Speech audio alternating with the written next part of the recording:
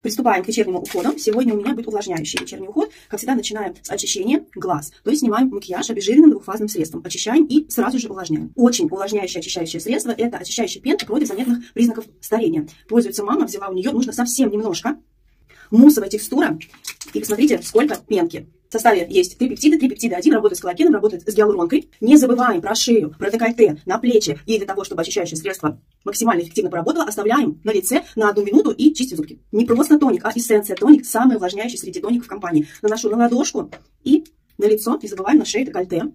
Это тоник из серии Люмиви, который направлен на выравнивание тона кожи. Очень много времени сегодня провели на улице, жара просто непереносимая, поэтому сыворотка для проблемной кожи.